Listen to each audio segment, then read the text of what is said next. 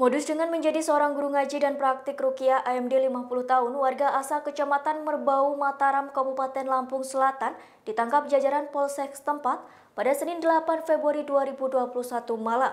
AMD yang juga berprofesi sebagai petani ini ditetapkan sebagai tersangka lantaran telah melakukan tindak pidana asusila atau pencabulan anak di bawah umur.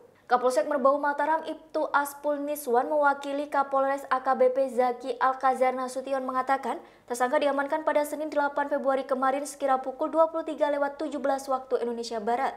Tersangka ditangkap setelah menerima laporan orang tua korban pencabulan. Dikutip dari tribunlampung.co.id, tersangka melakukan pencabulan pertama pada 24 Desember 2020 lalu di rumahnya.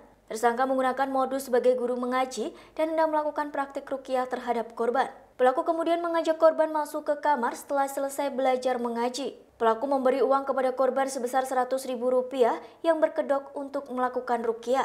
Sebelum mencabuli korban, tersangka memberikan air putih kepada korban dengan alasan untuk membersihkan setan yang ada di dalam tubuh korban.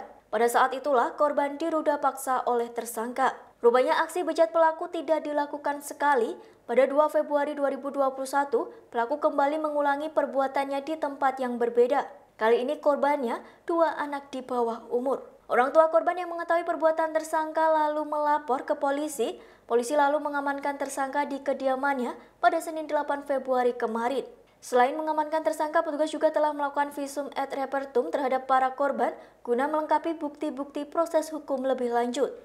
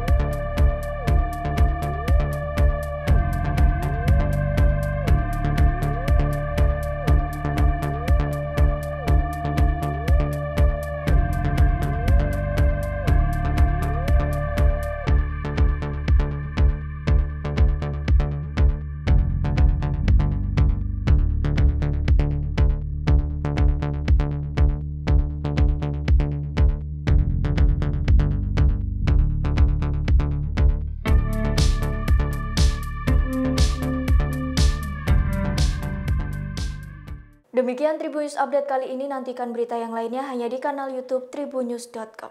Terima kasih sudah nonton. Jangan lupa like, subscribe, dan share ya.